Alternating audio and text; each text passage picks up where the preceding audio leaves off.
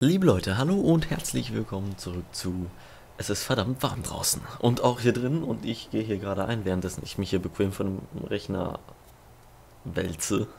Naja, passt nicht ganz, aber trotzdem, es ist fucking warm. Mit gerade mal 22 Grad ist es trotzdem irgendwie, pff, fühlt sich an wie 34, aber egal. Gut, so, Prison Architect, mal wieder, nach äh, 100.000 Jahren. Na, weiß nicht, das war schon letzte Folge, wie lange ist die her? Seit fünf Tage, sechs Tage oder sowas. Kann das durchaus schon sein. Die soll planmäßig diese jetzt hier heute Abend rauskommen, nämlich es ist Donnerstag. Das heißt, ich habe die Hoffnung, dass es äh, eventuell klappt. Denn wir haben im Moment noch 4 Uhr und deswegen, äh, ja. Gut, also, was haben wir in der letzten Folge gemacht? Das ist jetzt so lange her, dass selbst mein Langzeitgedächtnis es nicht mehr schafft, da hinterher zu kommen. Haben wir einen Exportraum oder haben wir den entsorgt? Ne, der ist noch da. Dem wollten wir ja noch Zeit geben oder sowas, ne? Das könnte sein. Des Weiteren, als ich gerade das Spiel gestartet habe, mal wieder hier oben irgendwie jemand der Meinung war, da war ein Fähnchen. Das heißt, wir haben nochmal durchsucht hier oder lassen gerade noch durchsuchen. Und da wurde auch schon wieder ein Verdacht auf einen Tunnel gefunden.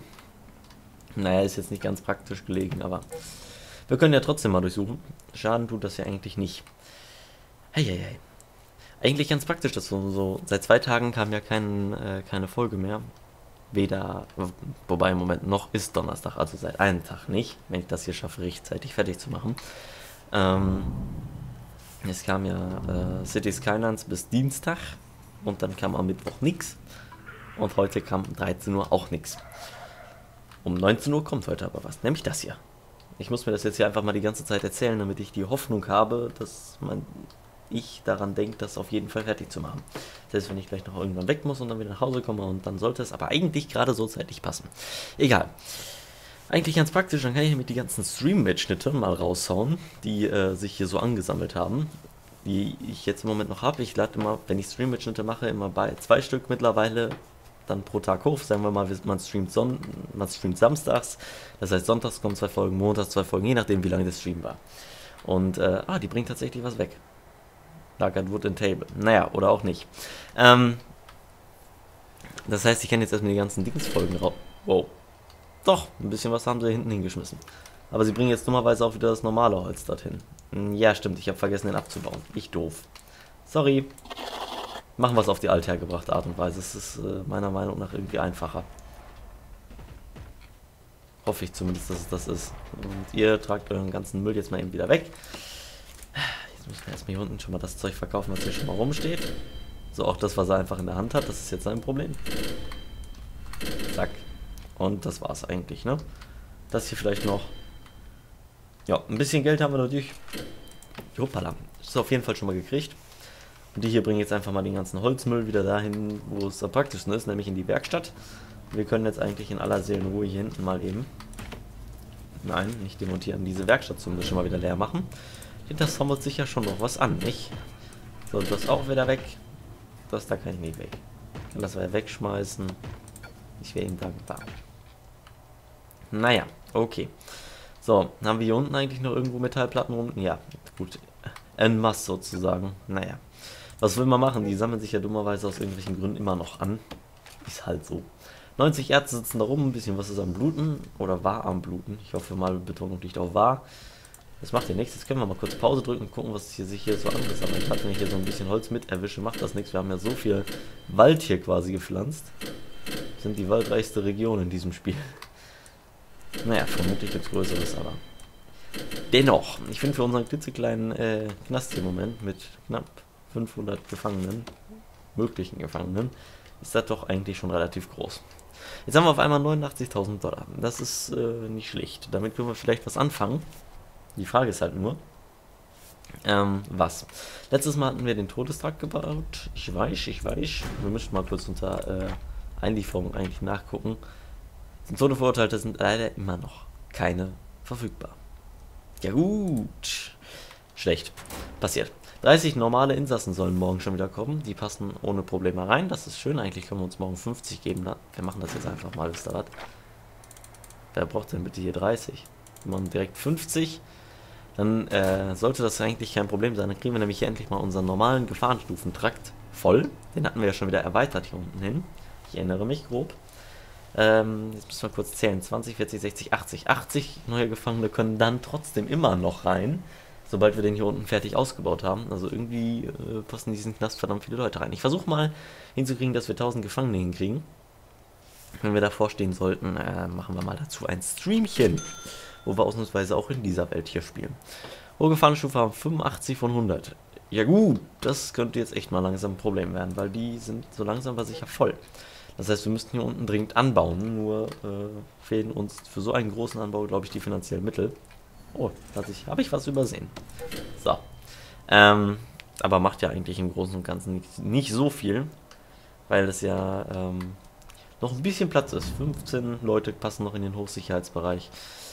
Ja, sollte ja reichen. So, könnte jetzt mal bitte Tag werden. Ich will wissen, wie die hier ausrasten. nee, besser nicht. 50 Gefangene, alter Vater. Dann können wir nämlich erstmal gleich 10 Minuten hier hinsetzen und gucken, was hat der dabei, was hat der dabei. Aber das müssen wir ja machen, das ist unsere, äh, unsere ähm, Kontrolle sozusagen. In der Hoffnung, dass ich auch jeden einzelnen Gefangenen tatsächlich erwische. Hier soll was gefunden worden sein, ich glaube nicht. Was ist mit dir, du Chris? Fehlverhalten, okay. 10 in Einzelhaft, also 16 sollen in Einzelhaft, 10 sind eingesperrt und 6 benötigen einen Arzt. Das heißt aber, die meisten benötigen einen Arzt hier oben, oder? Die dürfen nur im Moment noch nicht raus, weil hier sind im Moment die Ärzte drin. Die Ärzte. Dann hier ist im Moment ein Arzt drin. Ähm, wenn also hier ein Hochsicherheitstrakt irgendwas passieren sollte, dann könnte der zumindest schon mal eingreifen. Was ist mit dem? Wie lange musst du noch da drin sitzen? Ja. Der beispielsweise müsste mal vielleicht behandelt. Ich schicke jetzt einfach mal den Arzt dahin. Also, weil sonst. Ich weiß nicht, wie schnell die morgen. Wann haben die morgen Freizeit? Ja, gut, nach Duschen und nach Essen. Dann würden die ja vielleicht eventuell selber dahin gehen, aber da bin ich mir gerade noch nicht so ganz sicher. Ob sie sich die Zeit dafür nehmen oder nicht. So. Halt immer eben. Sechs Leute benötigen immer noch einen Arzt. Oh, der hat, den schon die, der hat schon die nächsten entdeckt. Das ist aber schön. Haben sie die Arrange mal ein bisschen größer gemacht? Zufällig? Aber ich glaube nicht. Ich glaube, es gab kein, kein nennenswertes Update seit ein paar Tagen. Wir erwarten kein nennenswertes Update, aber zumindest gab es auch wirklich eins. So, jetzt haben wir hier... Ach, da steht der Arzt schon seit zwei Wochen vor, da musst du da auch nicht hin. Das tut mir wahnsinnig leid, dass ich dich hier gerade so ein bisschen fehlinformiert habe. Du gehst jetzt wieder irgendwo ins Nirgendwo, du kannst den nochmal eben wiederholen und dann sollte es den Leuten hier so langsam aber sicher mal besser gehen. Ähm, wer ist denn hier noch so verletzt? Hier unten eigentlich keiner, ne? Das müssten nur noch zwei im normalen Trakt sein oder zwei in den Isolationszellen. Hatten wir nicht eigentlich die Isolationszellen hier als... Oh, hatten wir nicht. Ähm, ja. Denn die haben ja hier einen eigenen Hochsicherheitstrakt, also warum sollten wir den ähm, in irgendeiner Form ähm, die da hinten rüber lassen. Wenn die da Scheiße bauen, dann besser nicht. Gut. Wir haben 6 Uhr morgens, um 7 Uhr ist Aufstehen und um 8 Uhr kommen neue Gefangene. Ja gut, das heißt im Endeffekt, das wird voll. Wobei wir eigentlich sagen könnten, hier unten müsste mal ähm, auch mal so langsam wieder so eine Tür rein. Genauso wie da und da. Äh, damit wir hinterher unseren Trakt ein bisschen größer machen können. Wieder mal. Wieder mal expandieren. Zu sägendes Zeug haben wir hier sowieso noch im Moment en masse sozusagen. Warum rechnen? Achso, doch, kann ich doch wegwerfen. Meine Güte. Wenigstens eine Werkstatt frei haben von dem Zeug. Das sammelt sich ja echt äh, an. Weiß der Teufel wo. 50 neue Insassen. Go for it. Give it to me. I need them. Fast. Ähm, ich habe übrigens mal so geplant, ähm, dass wir mittlerweile mittwochs und samstags streamen. Sozusagen. Wobei dieses äh, in dem Kanalbanner eingefügte, was ich da so reingekritzelt habe mit meinen Master of Photoshop Skills, äh, eingefügte ähm, Streams immer mittwochs und samstags. Eigentlich müsste ich schreiben oder mittwochs oder samstags, aber das wäre auch nicht richtig, denn manchmal kann es auch sein, dass beiden Tagen gestreamt wird und das wäre dann äh, auch wieder falsch. Also ich habe keine sinnvolle Formulierung dafür gefunden. Weshalb äh, ich einfach sage, es kann mittwochs und kann samstags ein Stream kommen. Aber das wollte ich so nicht aufschreiben, das, das klingt doof. Ja, gut. Schlimme Probleme hier, man merkt schon, ne? Diesen Samstag gibt es ebenfalls, das kann ich zumindest jetzt schon mal im, äh, mal, schon mal wissen. Ach, du wolltest da wieder gar nicht rein. Ähm, gibt es keinen Stream, dafür nächsten Mittwoch und nächsten Samstag. So. Soweit die Planung, soweit die äh, Umsetzung diese Woche. Oh, mein Fehler. Ich dachte gerade, das wäre ein kurzes Bäumchen, aber leider war es nicht. Komm, so, ab jetzt können wir zumindest die Lampen wieder deleten. Delete mal Lamp. So, das kann weg und das kann weg. Damit können wir die Türen eigentlich schon wieder auf offen stellen und denen schon mal für den Tag eine Arbeit geben sozusagen, damit sie sich wenigstens damit beschäftigen, den Tunnel dort, der nicht hoffentlich nicht vorhanden ist. Darunter liegt die Wasserleitung ungefähr, ja. Ja gut, ich glaube, da wird, nicht, äh, wird nichts Großartiges sein. Meine Güte. So. Ich bin übrigens begeistert gewesen, wie komisch, unfassbar gut dieses eine Video, dieses 10, 10 Dinge Video, 10 Fakten, das ist ja 10 Fakten Video oder wie auch immer man das nennen möchte, über City Skylines angekommen ist bei euch. Bei euch, denn das Ding hat ja schon über 100 Aufrufe oder sogar 130, glaube ich, heute. Hätte ich nicht gedacht. Hätte eigentlich gedacht, dass es irgendwer anders schon mal gemacht hätte oder so, aber nee. Und jetzt kommen wir hier unten wieder in unseren Chaos-Trakt, oder beziehungsweise hier hinten ist ja unser Chaos-Trakt. Das heißt, das Gefahrenlevel explodiert wieder mal. Aber in der Hoffnung, dass sich das relativ gering hält. Was ist hier gewesen? Spiel ruckel, ruckel, ruckel hinterher. Ja, ich glaube nicht, dass dort was sein wird. Wir haben hier diese zu Tode verurteilten Zellen, zumindest. Nein, die Zellen sind nicht zum Tode verurteilt, das meinte ich jetzt eigentlich nicht damit. Warum hat der eigentlich weniger Auslastung als der? Sorry, die doofe Frage, aber warum ist das so? Ach so, weil der da hinten durchgeht und dann. Ach so. Weil ich doof war, heißt das. Ja, du darfst da durch, ist in Ordnung. Bam, Tür zu. Also auf maximaler Geschwindigkeit ruckelt das hier aber echt wie Sau. Wenn ich jetzt hier mal so eine Tür aufmache, hat man es ja gerade gesehen. Machen wir dritte Geschwindigkeit. Jetzt guckt euch mal die Türen an. Tick, tick, tick, tick. Grill. Nicht so viel ruckeln, Spiel, lieber arbeiten. Nein. Deswegen spielen wir halt auf einfacher Geschwindigkeit. Nehmen wir so ein bisschen das Tempo da raus, aber macht ja eigentlich nichts. Das Gefahrenlevel hält sich eigentlich relativ in Grenzen, fällt mir gerade so auf, weil irgendwie explodiert das nicht. Das hat nicht mal zwei, zwei ähm, so Pfeile, das hat eigentlich nur einen.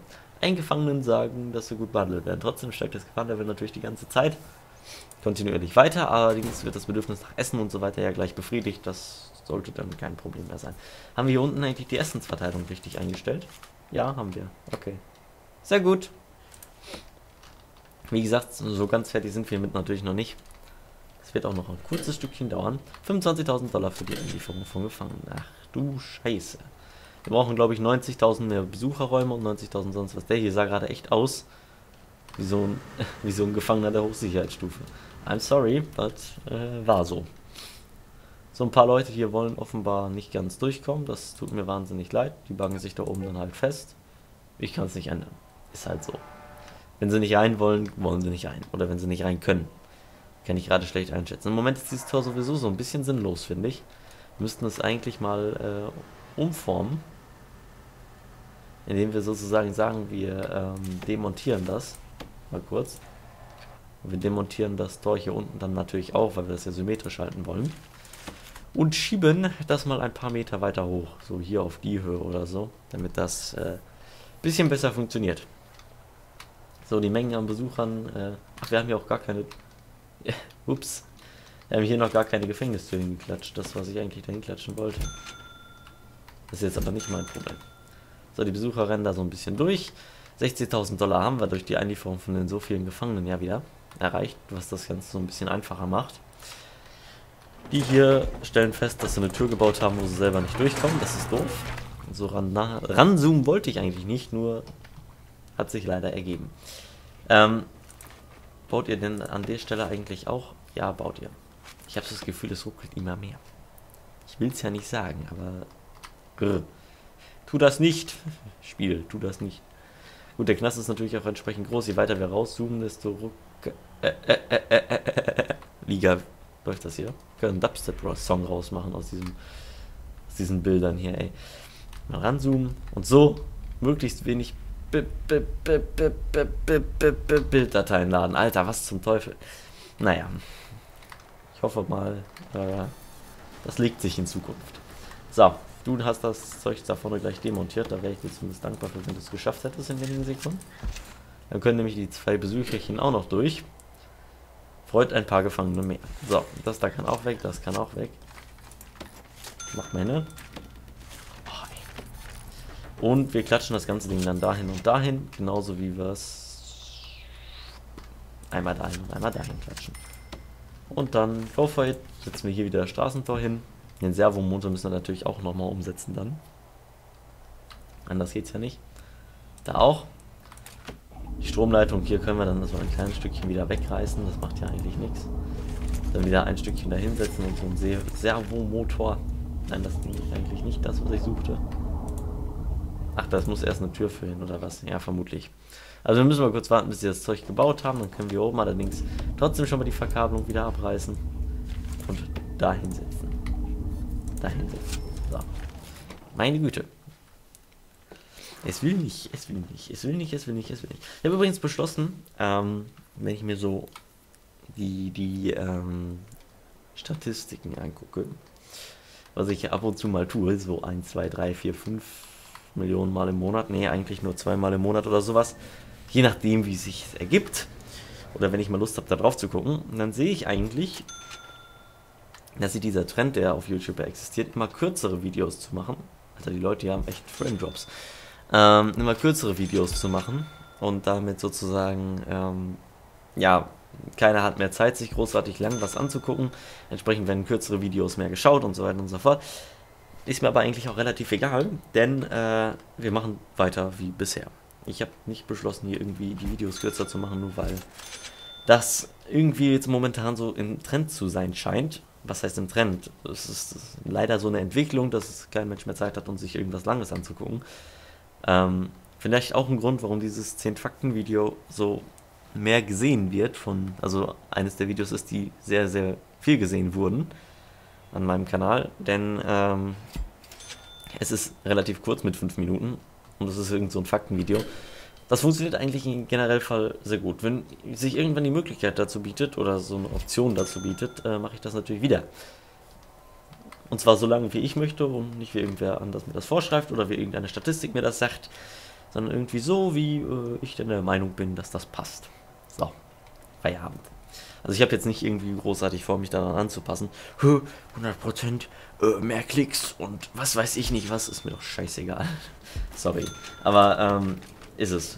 Weil, klar freue ich mich darüber, wenn sich das hier anguckt. Natürlich investiere ich Zeit und Arbeit da rein. Und äh, freue mich dann entsprechend auch darüber, wenn sich hier jemand äh, die Videos anschaut. Allerdings. Ist er entlassen? Ja. Ähm, allerdings. Ja. Oh. Ne, das ist schon wieder dieser Besucher. Nein! Ähm, allerdings. Ne, habe ich keinen Bock, aus irgendeiner Art und Weise mich anzupassen oder den, die Videos, die ich mache, anzupassen oder den Kanal anzupassen oder sonst was. Ich möchte eigentlich so, so weitermachen wie bisher. Im besten Fall irgendwie noch, äh, was weiß ich, diesen Standard sagen, die Qualität steigern, wenn es da Defizite gibt. Und das war's eigentlich. Weil ich habe nicht vor, ähm, irgendwie, nur weil eine Statistik mir sagt, oh, wenn du das und das machst, guck, dass mehr Leute, ich mach das, was ich möchte. So zickig das klingt, ich lasse mich davon keinem belehren. Weil ich das nicht möchte. Punkt. Kann man ja auch mal klarstellen. Ja, so. Ach, die Zellen, die Türen sind automatisch offen, auch schön. Wo bleiben denn eigentlich unsere Gefangenen? Seit 11 Uhr und die stehen immer noch im Stau. Und die Mutter da oben hat irgendwie nicht so den großen Ansporn, sich zu bewegen. So, die Box kommt nach Storage, das ist schon mal schön. Hier steht wieder alles. Da fehlt gleich nur noch so ein bisschen, ähm, so ein wenig Pflaster. Das wollte ich sagen. Ich habe es vergessen. Doof bleiben werde ich auch immer, was solche Wörter angeht. Warum haben wir denn hier eigentlich so einen reingeschmissen in den Hose? Jetzt halt, weil er sich gekloppt hat, wette ich mit. Was hat er denn jetzt für eine Bewertung? 5, aber 18%. Ja gut, dann nicht. Weil, wie gesagt, ich will ja immer mal den Hochsicherheitstrakt wieder so ein bisschen leerer kriegen. Leider wird das im Moment leider nicht so leicht. Man müsste so einstellen können, dass er direkt auf den Bewertungsboden geht. Das macht das Ganze einfacher. 16%, 97%, 9%, allerdings Sicherheitsstufe 2. Das kannst du vergessen. 1 auch nicht. 1 auch nicht. Du hast 5. Aber 41% Rückfälligkeitsrate. Also wie gesagt, das sind ja die Kriterien, die ich mal einfach so festgelegt habe. Entsprechend, ähm, ne? Kommt keiner da hinten in den normalen Knasttrakt wieder rüber, wenn er diese Kriterien nicht erfüllt. Hier unten bauen wir jetzt ja gerade quasi diesen wunderschönen, ach so tollen neuen Knasttrakt dazu. Damit wir endlich, endlich, endlich, endlich mal äh, wieder mehr Gefangene aufnehmen können. Wir hatten ja so lange keine mehr. Ich habe so das Gefühl, zwar je mehr Gefangene, desto mehr muss das äh, Spielchen hier rechnen. Und desto mehr verlangt es ab. Und desto weniger klappt das Ganze. Denn je kleiner der Knast, desto flüssiger läuft das natürlich aus irgendwelchen. Ja, was heißt aus irgendwelchen Gründen? Ist ja logisch. Die ganzen Kleinigkeiten hier müssen nicht gerechnet werden, nicht so viele Leute. Die ganzen Routen müssen nicht berechnet werden für die ganzen. Äh, die ganze Menge an Menschen sozusagen. Deswegen ist es natürlich ein bisschen praktischer, wenn äh, ja, der Knast ein bisschen kleiner ist. Allerdings machen wir noch ein bisschen weiter hierbei. Wie gesagt, die 1000 Gefangene, ob wir die erreichen, wir haben nicht mal die Hälfte gerade drin. Wenn die Lieferung angekommen wäre, hätten wir jetzt die Hälfte drin. Aber ähm, wenn das so die ganze Zeit furchtbar ruckelt oder noch schlimmer wird, dann müssen wir uns das mal überlegen mit den 1000 Gefangenen. Wie gesagt, also da ähm, können wir auch gerne dann wieder noch einen neuen Knast anfangen. Machen wir Staffel 3. Dann keine Pause zwischen, Staffel 3 dann direkt dahinter. Die Staffeln sind ja nur so geordnet, wie wir halt eben jedes Mal einen neuen Knast anfangen, sozusagen. Gut. Sehr gut. So, ihr baut da unten gerade brav fleißig weiter. Und ich stelle fest, dass wir 20 Minuten voll haben. Was daran liegt, dass ich da jetzt gerade drauf achte, weil mir das eine Statistik gesagt hat. Nee, sondern weil meine persönliche im Kopf Statistik mir sagt, dass das hier so und so lange fürs Rennen braucht und so und so lange fürs Hochladen. Und wenn ich erreichen möchte, dass das heute noch hochkommt und ähm, freigeschaltet wird, dann müsste ich das jetzt mal so langsam beenden. Deswegen ähm, ruckelt der Hausmeister dann noch so ein bisschen durchs Bild. Vielen Dank fürs Zuschauen. Morgen kriegen wir die 50 Gefangenenlieferung, die noch nicht ganz angekommen ist heute. Und dann passt das. Haut rein, vielen Dank fürs Zuschauen und äh, macht's gut. Ciao.